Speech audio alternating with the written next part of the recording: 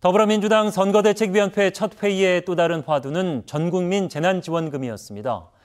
이재명 후보가 재난지원금 추가 지급을 적극 추진해달라고 거듭 당부했지만 야당은 물론 정부조차 사실상 반대를 표명해 당정 갈등이 불거지는 모양새입니다. 이어서 김용재 기자입니다.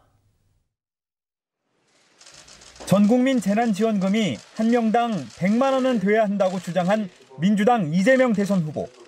중앙선대위 첫 회의에서 재난지원금 추가 지급 추진을 공식화했습니다.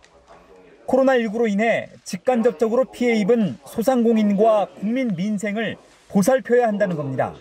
그러면서 우리의 국가부채 비율이 전 세계에서 가장 낮은 비정상적인 상태라고 지적했습니다.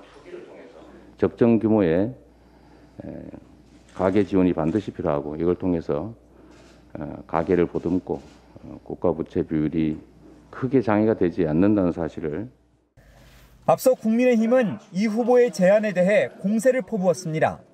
윤석열 전 검찰총장도 실현 가능성이 의문인 아무 공약 대잔치라며 수위를 높여 비판했습니다. 여기에 정부도 사실상 반대 입장을 드러냈습니다.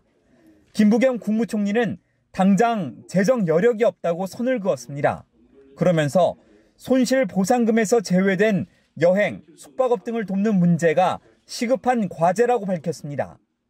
재난지원금의 추경 편성 가능성에 대해서도 국회로 공을 넘겼습니다. 예, 그러면 내년 예산에 넣어야 되는데 예. 그건 뭐 아주 국회에서 이제 심사를 하시면서 예. 어, 국회에서 무슨 결정을 하시, 하시겠죠. 뭐. 재정을 둘러싼 상반된 시각으로 당정 갈등이 표면화되는 분위기입니다.